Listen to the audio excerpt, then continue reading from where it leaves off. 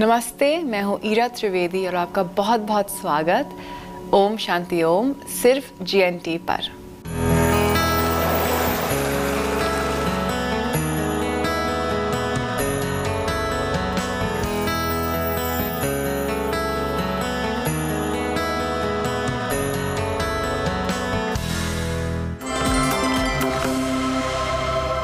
चलिए, हम शो की शुरुआत करेंगे। एक छोटे से ध्यान के साथ अगर आप इस कार्यक्रम को देख रहे हैं तो आप ज़रूर हमारे साथ ध्यान करें। आप एक कंफर्टेबल सीटेड पॉस्चर में बैठ जाएँ।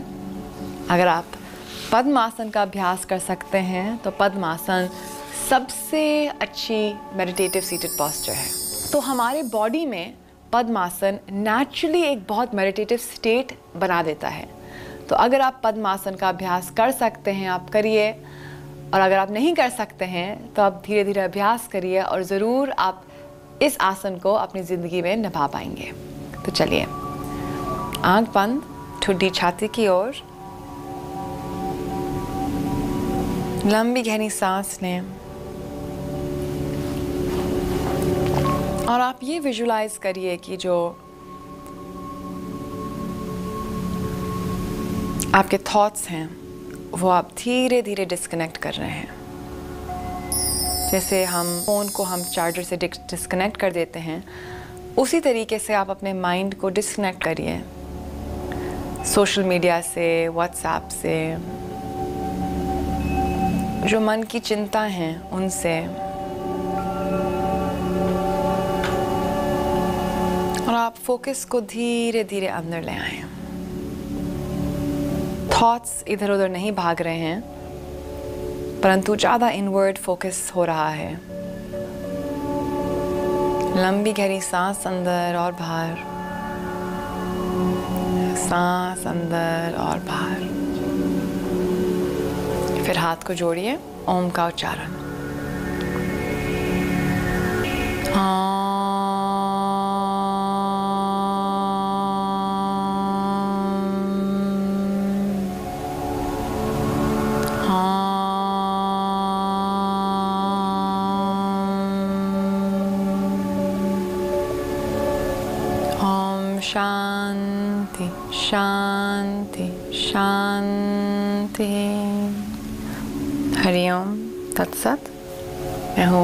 हूँ त्रिवेदी और इस कार्यक्रम में आपका बहुत बहुत स्वागत है। आज हम एक बहुत इम्पोर्टेंट इशू पे टच करेंगे। वो है हमारी नेक हमारी गर्दन। आजकल सर्वाइकल पेन का एक पेंडेमिक हो चुका है। सब लोगों को गर्दन में कुछ ना कुछ अड़चन है। जो छोटे छोटे बच्चे हैं 10, 11, 12 साल के वो आके बोलते हैं कि हमारे हमको गर्दन में दर्द हो रहा है। ये क्यों हो रहा है? क्योंकि सभी लोग स्क्रीन पे टिके हुए हैं, स्कूल स्क्रीन पे हो रहा है, और जो हम लोग, जो अडल्ट हैं, वो पूरे समय हमारी गर्दन नीचे हम लोग फ़ोन पे लगे हुए हैं, है ना व्हाट्सएप पे। जब हम कंप्यूटर स्क्रीन पे करते हैं तो हमारी गर्दन ऐसी होती है, जब हम फ़ोन पे होते हैं तो हमारी गर्दन ऐसी होती है। हम टीवी भी देखते हैं तो वैसे हमारी गर्दन ऐसे ऐसे ऐसे रहती है। और तो हमारे गर्दन में इतना ज़्यादा स्ट्रेन आ चुका है कि सब लोगों की गर्दन वीक होती है। और फिर क्या होता है कि हमने थोड़ा सा भी एग्जर्ट किया और हमको बहुत ही ज़्यादा सर्वाइकल पेन हो जाता है, जो हमारे फिर शोल्डर्स में चले जाता है, हमारी बैक में चले जाता है और कभी कभी तो सर्वाइकल का पेन हमारे टांगों पे चले जाता है। इतना ज़्यादा इफ़ेक्ट होता है हमारी नेक की पॉस्चर के साथ। तो ये ज़रूरी हो गया है कि सब लोग थोड़े थोड़े नेक एक्सरसाइजेस अपने ज़िंदगी में अपनाएँ। अगर आप फ़ोन पे हैं, अगर आप कंप्यूटर स्क्रीन पे हैं, अगर आप टीवी देखते हैं और मुझको तो लगता है कि हर कोई ये तीन कैटेगरी में तो आता ही है तो आपको रोज पाँच मिनट की नेक एक्सरसाइजेस करनी चाहिए। और ये नेक एक्सरसाइज तो ऐसी हैं कि आप इनको कहीं बैठे बैठे भी कर सकते हैं। अगर आप ऑफ़िस में हैं तो थोड़ा सा ब्रेक लग के कर सकते हैं। अगर आप घर पे हैं तो बस पाँच मिनट का ब्रेक आप अपनी गर्दन को तो दे ही सकते हैं। यही है हमारी गर्दन, जो हमारे पूरे ब्रेन को सपोर्ट करता है। तो इस गर्दन को हमको थोड़े से प्यार से हमको देखना है, और इसलिए योग के जो थोड़े थोड़े व्यायाम होते हैं, ये सर्वाइकल पेन के लिए बहुत ही महत्वपूर्ण होते हैं। और अगर हम इनको रेगुलरली करें तो सर्वाइकल पेन चले जा भी जा सकता है। मैं आज आपको थोड़े से व्यायाम बताऊँगी, थोड़े से आसन बताऊँगी, और फिर इसके बाद मैं आपको थोड़ी सी रेमेडीज़ दूँगी जो मैंने खुद अपनी ज़िंदगी में अपनाए हैं। क्योंकि मैं एक राइटर होने के नाते मैं बहुत कंप्यूटर में काम करती हूँ। जब मैं किताब लिखती हूँ तो कभी कभी मैं 10-15 घंटे मुझको कंप्यूटर पे काम करना पड़ता है। तो मेरी बहुत छोटे से उम्र से ही एक नेक की प्रॉब्लम सर्वाइकल पेन मेरी ज़िंदगी में आ गया था। तो इसलिए मैंने रोज़ ये नेक एक्सरसाइजेस की और आज मेरी गर्दन में बहुत कम प्रॉब्लम है। परंतु अगर मैंने नेक एक्सरसाइजेस बंद कर दी तो मुझको मालूम है कि ये अड़चन वापस आ सकती है। तो नेक एक्सरसाइजेस में रेगुलरिटी बहुत ज़रूरी है। आप ये नहीं सोचें कि मेरी गर्दन ठीक हो गई, इसको मैं बंद कर दूँ। तो अगर आपको गर्दन की प्रॉब्लम हो रही है तो आप अपने नेक एक्सरसाइजेस रोज करें। जब प्रॉब्लम ठीक हो जाती है, फिर भी आप एक्सरसाइज को कंटिन्यू करें। इनकी ये खास बात है कि आप इनको कभी भी, किसी भी समय कर सकते हैं, सिर्फ़ पाँच मिनट के लिए। तो चलिए, हम लोग शुरुआत करेंगे। मैं तो अभी ज़मीन पे बैठी हुई हूँ, पर आप कुर्सी में भी कर सकते हैं इसको। बस एक चीज़ है कि आपकी रीढ़ की हड्डी जो है, वो बिल्कुल सीधी होनी चाहिए। तो चलिए, हम शुरुआत करेंगे एक वार्म अप के साथ।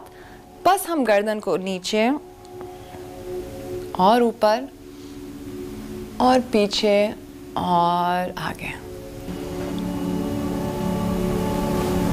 जैसे हम आसन के पहले वार्म अप करते हैं, उसी तरीके आपको ये भी करना है। और ये ध्यान में रखना है कि हर एक्शन आपको स्मूथली करना है। आप गर्दन को जर्क मत लगाएँ। एक गर्दन बहुत सेंसिटिव एरिया होता है। इसको बिल्कुल जर्क नहीं करना चाहिए, हर मूवमेंट आराम से। और वही चीज़ लेफ़्ट राइट आराम से, जो भी आपकी कैपेसिटी है। इसको काफ़ी लोग ऐसे ऐसे ऐसे ऐसे करते हैं, ये बिल्कुल नहीं करना है।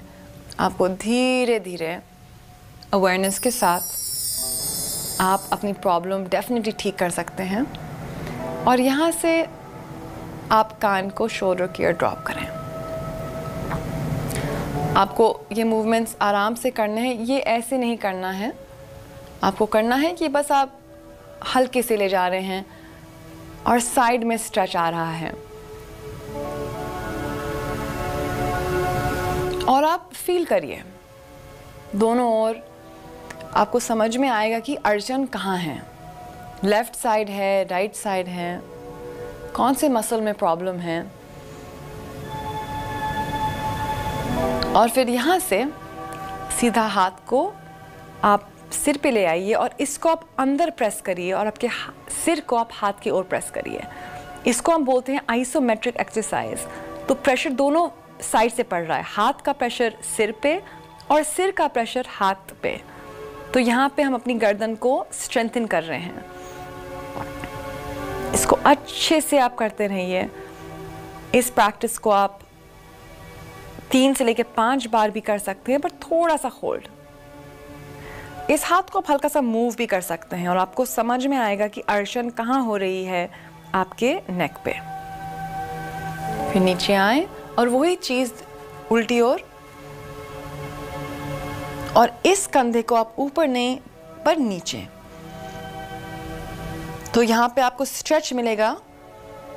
तो बहुत सारी चीज़ें हो रही हैं यहाँ पे। हाथ का प्रेशर सिर पे, सिर का प्रेशर हाथ पे, और आप अपने सीधे हाथ को नीचे खींच रहे हैं तो ये मसल स्ट्रेच और स्ट्रेंथन दोनों हो रहा है एक साथ। यहाँ पे भी आप थोड़ा सा पीछे हाथ को ला सकते हैं, और ये देख सकते हैं कि अड़चन कहाँ पे हो रही है। और वापस। अब हम करेंगे नेक रोटेशंस का अभ्यास।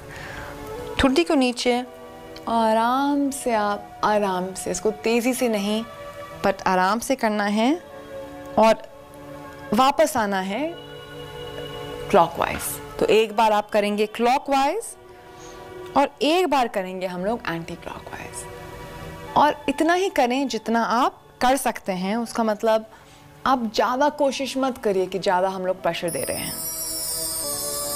आपको बहुत आराम मिलेगा इस सूक्ष्म व्यायाम से। और आप आराम से इसको करते रहिए। ये ज़रूर कोशिश करें कि आप सांस के साथ इसको कर रहे हैं। सांस के साथ आपको कोऑर्डिनेट करना है। इसको आप मिनिमम वन मिनट, दो या तीन मिनट भी कर सकते हैं। और फिर वापस आए। लंबा गहरा सांस और अपना पूरा फोकस आप अपने गर्दन पे ले आए। जो नेक एक्सरसाइज हम लोग करने वाले हैं, ये मेरा बहुत एक फेवरेट एक्सरसाइज है। जो हमारी गर्दन का पोजीशन होता है, वो बिल्कुल न्यूट्रल हो सकता है। जो हमारी गर्दन का पोजीशन होना चाहिए, वो बिल्कुल सीधा होना चाहिए। तो अगर आप दो उंगलियाँ को नीचे लेंगे तो आप देखिए कि आपकी गर्दन पीछे से सीधी है कि आगे ऐसी है। या ज़्यादा पीछे हैं। क्या होता है कि लोगों की गर्दन ऐसी, ऐसे हो जाती है? थोड़ी सी आगे पॉइंटेड उनकी ठुड्डी, क्योंकि पूरे टाइम हम स्क्रीन को देखते रहते हैं। तो हमारी गर्दन भी परमानेंटली ऐसे हो जाती है, परंतु होनी चाहिए ऐसे। गर्दन पीछे से बिल्कुल सीधी। तो ये जो एक्सरसाइज बता रही हूँ, बहुत ही अच्छी है। इसको आप ठुड्डी को आगे और पीछे, बस ठुड्डी को आगे, पीछे गर्दन को बिल्कुल सीधे रखिए। बस आप ठुड्डी को आगे और पीछे कर रहे हैं। आपको तुरंत महसूस होगा आपकी गर्दन की मांसपेशियों से। आपको ऐसे ऐसे नहीं, बिल्कुल सीधे, आगे आगे, पीछे आगे, पीछे। इसको आप ये करिए कि आप आगे आए हैं, फिर पूरा पीछे, आगे और पीछे। ये इतनी बेनिफिशियल प्रैक्टिस है, इसको आप एटलीस्ट ट्वेंटी टाइम्स करिए। जब पीछे आते हैं तो पूरा पीछे आइए। फिर आप यहाँ पे होल्ड कर सकते हैं और फिर छोड़िए। तो पहले आपने डायनामिकली किया, फिर आप पीछे आए होल्ड किया और छोड़ें। एक और बार पीछे आए। और छोड़ा और एक और बार पीछे आए, पूरा पीछे आए मैक्सिमम और छोड़ें थोड़ा सा आराम करें। और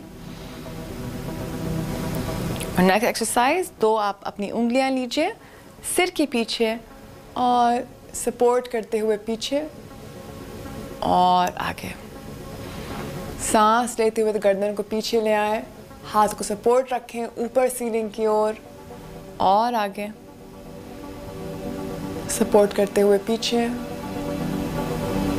और आगे। इसको एटलीस्ट आपको टेन टाइम्स करना है। कोई दर्द महसूस नहीं होना चाहिए। हल्का सा डिस्कम्फर्ट हो सकता है पर जो एक दर्द है पेन जो होता है अगर आप कोई भी प्रैक्टिस अवेयरनेस के साथ करेंगे तो आपको तुरंत मालूम पड़ जाएगा कि ये पेन है या ये डिस्कम्फर्ट है। आप वापस आ जाएँ और अब हम करेंगे एक आसन। आप पेट के बल मैट पे आ जाएँ। हम लोग करेंगे भुजंग आसन का अभ्यास। भुजंग आसन बहुत ही अच्छा लाभदायक आसन है। हाथ शोल्डर के नीचे। और आप ऊपर आ जाएँ और ठुड्डी को थोड़ा सा ऊपर उठाएँ। और यहाँ से हाथ को पीछे ले जाएँ और यहाँ से हम अपनी ठुड्डी को और भी ऊपर ला सकते हैं। और यहाँ पे पूरे स्पाइन पे बहुत ही सुंदर स्ट्रेच मिलेगा आपको। आँख ऊपर या आँख आप नाक को भी देख सकते हैं। या आपके आईज की एक एक्सरसाइज साथ साथ हो जाएगी। नसग्र दृष्टि, इसको हम योग में बोलते हैं नसग्र दृष्टि।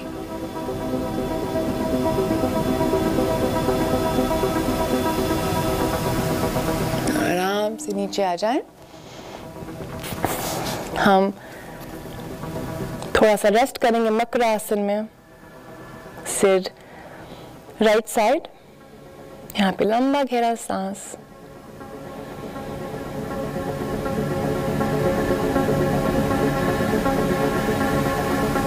और फिर आप ऊपर आ जाएँ। और अब मैं आपको बहुत ही सुंदर प्रैक्टिस बताऊँगी। आप ऐसा एक क्वेश्चन ले लें। आप इसको बिस्तर के किनारे भी कर सकते हैं। आराम से आप नीचे लेट जाएँ। आप ऐसा एक मसनद दीजिए और अपने टेल बोन के पास इसको ले आएँ। आप अपने लेग्स को सीधा ला सकते हैं। और यहाँ से आप पीछे जाइए और आपका जो, आपकी जो गर्दन है, वो एज पे होनी चाहिए तो आपका सिर पीछे जा सकता है ऐसे। और यहाँ पे अपने हाथ फैलाइए, बस अपने गर्दन को पीछे जाने दीजिए। आप यहाँ पे थोड़ा सा एडजस्टमेंट भी कर सकते हैं। आप अगर आपको लगे कि थोड़ा सा आप पीछे आ जाएँ तो पीछे भी आ सकते हैं, क्योंकि जो सिर का ऊपर वाला हिस्सा है, वो नीचे होना चाहिए ज़मीन पे।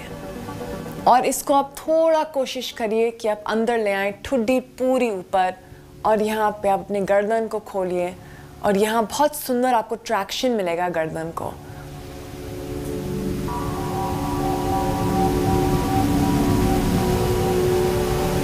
फिर आराम से आप, बिल्कुल आराम से आपको ऊपर आना है। कोई भी जर्क नहीं लगना चाहिए।